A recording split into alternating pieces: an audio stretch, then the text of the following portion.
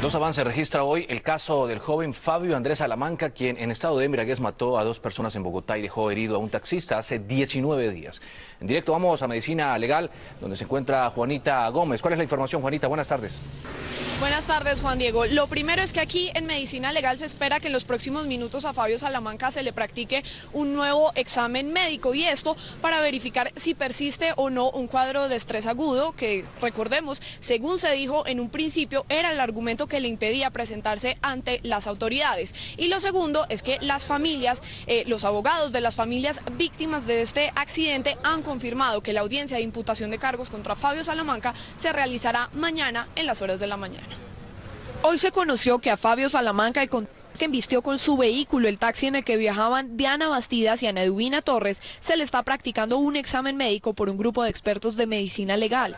Se trata de una nueva valoración para verificar si persiste un cuadro depresivo agudo que, según se dijo inicialmente, le impedía presentarse ante las autoridades.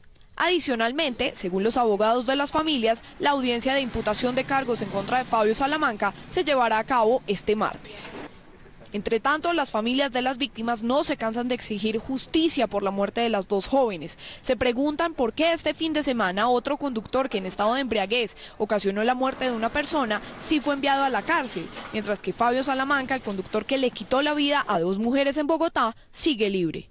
Mm, el fin de semana ocurrió un accidente y ya la persona está pagando y este muchacho no sé por qué no pasa nada, no sé por qué los entes que, que competen a estos casos no nos colaboran, mm, porque no se ve la justicia por ningún lado. Han pasado 19 días y en realidad no ha pasado nada. Dicen que tienen miedo de que la justicia sea laxa con Salamanca y no reciba la pena que merece es el premio más grande que le pueden dar a un asesino, el precio más grande que le pueden dar a los borrachos. Entonces yo creo que no más casa por cárcel, ellos están cometiendo un delito y especialmente Anderino está montado un arma potente, un arma eh, que acaba con la familia y con todo el mundo, menos con él. Las familias piden que ninguno de estos casos ocasionados por conductores ebrios quede en la impunidad.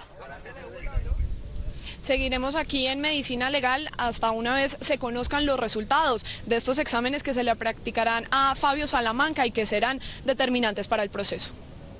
Juanita Gómez, muchas gracias por ese reporte. Y Juanita, lo que muchos se preguntan es cuál ha sido la actuación de las autoridades frente a estos accidentes causados por conductores borrachos en los que hay muertos. Hasta ahora son contradictorias. En unos casos los envían a la cárcel y en otros no. Jonathan Cabrera, el joven que este fin de semana atropelló a un joven de 28 años y le causó la muerte, fue enviado a la cárcel por el juez. Sin embargo, la Procuraduría y la defensa del detenido apelaron la decisión por considerar que tenía el grado mínimo de alcohol en el cuerpo y que no salió dispuesto a matar. La otra cara de la moneda la tiene Andrés Salamanca, el joven que el 12 de julio arrolló un taxi provocando la muerte de dos mujeres y dejó un taxista gravemente herido. Aunque tenía el grado máximo de alcohol en el cuerpo, aún no ha comparecido ante la justicia. La diferencia en el proceder de las autoridades frente a estos dos casos originó la indignación de la congresista Gloria Estela Díaz. ¿Se justifica o amerita que un conductor borracho en cualquier grado que esté vaya o no a la cárcel a pagar la pena? Consideraría que sí que necesariamente tiene que ir a un centro penitenciario a cumplir con la pena y a responder por su acto irresponsable. Para el penalista Ramiro Bejarano hay fallas evidentes en el proceder. El juzgamiento de los accidentes de tránsito cuando hay personas embriagadas debería ser inmediato, porque no tiene sentido que una persona esté judicializada al día siguiente por un accidente de tránsito y otra no lo esté. Eso significa que no hay una política criminal coherente. Ciudadanos consultados coinciden en que hay que endurecer las penas para las personas que conducen bajo los efectos del alcohol. El hecho de que el uno tuviera tres, el otro tuviera uno, es la misma situación. Las penas deben ser para todos iguales, nada irrisorias para ninguno de ellos. Este fin de semana en Bogotá fueron sorprendidos 354 conductores en estado de embriaguez. La policía reveló hoy que dos de sus patrulleros están siendo investigados por posibles irregularidades en el procedimiento en el que se dejó libre al joven conductor que en estado de embriaguez causó la muerte de dos mujeres en Bogotá y dejó gravemente herido a un taxista el pasado 12 de julio.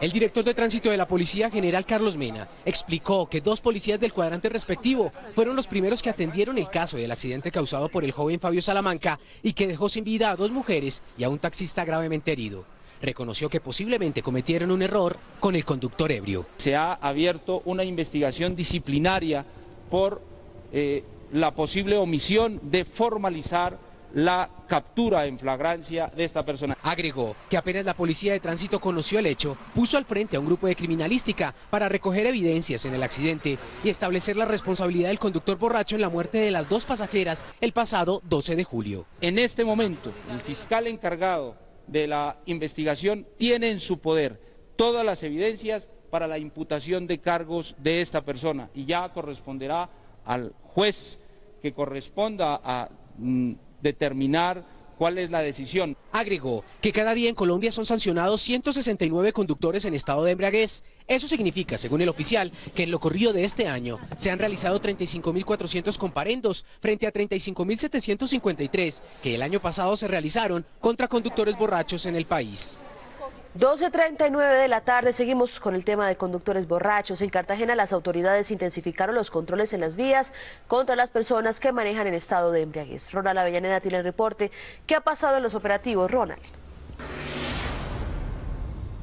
Mabel, en los operativos se han encontrado de todo, desde personas que salen a manejar sus vehículos eh, sin los, eh, la documentación, sin los respectivos papeles, sin el SOAT, sin su licencia, pero en las últimas horas se encontró a una persona en estado de embriaguez y ha sido el mismo director del Departamento Administrativo de Tránsito y Transporte, Edilberto Mendoza. ¿Estos operativos tienen unas cámaras de seguridad? ¿En qué consisten? Bueno, son unas cámaras que detectan los excesos de velocidad. En estos momentos van más de 30 sancionados por este hecho y la idea es reducir ostensiblemente los índices de accidentalidad. Se encontró a una persona en grado de alcoholemia 1. Esta persona que ustedes eh, van a ver en contados minutos en sus televisores reconoció ante las cámaras de Noticias Caracol que había ingerido alcohol y que se dirigía hacia su sitio de trabajo. me dirigí al trabajo en este momento. ¿Como cuánto eh, cree usted eh, que consumió? ¿Cuánta cerveza? ¿Cuántos tragos de whisky? Bueno, eh, fue un grupo de amigos, nos tomamos como tres botellas, éramos como 16 personas. ¿Tres botellas de whisky? Sí. Por estas eh, tres botellas de whisky y por estar conduciendo, le fue impuesto un parte de 850 mil pesos y le fue inmovilizado el vehículo. Está negociando todavía para ver si las autoridades le suspenden la licencia. Este operativo se desarrolla en la vía del corredor industrial de Mamonal, porque aquí muchos tractocamiones exceden los límites de velocidad y lo que se quiere también es disminuir los accidentes. Nos han informado que son 35 los ciudadanos que han perdido la vida. Más de 1.900 accidentes de tránsito se han presentado en lo que va corrido de año en la ciudad de Cartagena. Por el momento es toda la información. Ronald Avellaneda, Noticias Caracol. Muchas gracias, Ronald. Eso en Bolívar, porque en el Cauca, en Piendamó, borrachos al volante por poco causan una tragedia. La historia nos la acaba de enviar Freddy Calvache. Así quedó la vivienda de la familia Flores Cabrera, luego de que esta camioneta se estrellara violentamente. El hecho, según sus moradores, se registró hacia las 4 de la mañana. Escuchamos un fuerte estruendo y obviamente nos levantamos a mirar qué había sucedido y cuando salimos a, la calle pues vemos de que una camioneta que era manejada por una, por una niña, o sea, muy joven, y un señor totalmente alcoholizado. Rosalba Cabrera dijo que por fortuna no quiso pasar la noche en esta habitación, donde siempre duerme con su nieta pero es anoche, no sé, cosas de video serían que, que no, me, no me quedé en esa pieza. Si no, pues me salvé de milagro. Las autoridades de tránsito de Piendamo confirmaron que el adolescente manejaba en estado de alicoramiento. La señora Jessica Colorado, de 19 años, se llevó a, hacer, a tomarse su respectivo examen de embriaguez resultando positivo grado 1. Los dos ocupantes de la camioneta resultaron heridos. Y seguimos allí en el suroccidente del país, donde los accidentes con conductores borrachos también originan dolores de cabeza. Carlos Gutiérrez hace algún momento nos envió el siguiente informe. Los familiares de Luis Henry Carabalí, víctima fatal del accidente de tránsito que ocurrió en Puerto Tejada, Cauca, por causa de un conductor borracho, pidieron que se haga justicia. Esa irresponsabilidad, yo como conductor pues, también digo de que nunca lo haré andar conduciendo borracho aparentemente borracho, porque no puedo decir borracho, aparentemente borracho, es preocupante. El conductor Miguel Mina, quien hasta el 2011 se desempeñó como agente de tránsito del municipio, estaba en avanzado estado de licoramiento, según este video de las autoridades y el examen de sangre que se le practicó luego del percance. ¿Usted ingirió bebidas alcohólicas? ¿Ah? ¿Usted ingirió bebidas embriagantes? Pues de pronto sí. Yo no le estoy negando. La prueba de alcoholemia que mm, eh, practicó el hospital de aquí de Puerto Tejada dice que es grado 3. El caso está en manos de la Fiscalía y se espera los resultados de las investigaciones. Si hay lugar a algo que le corresponde a la Secretaría de Tránsito, debe ser de oficio, entonces nosotros procederemos de oficio a lo que la Fiscalía eh, estime conveniente. La mujer que viajaba en el vehículo perdió una de sus piernas y el acompañante murió en el hospital de la localidad hora después del accidente. En Cali, Calo Gutiérrez, Noticias Caracol.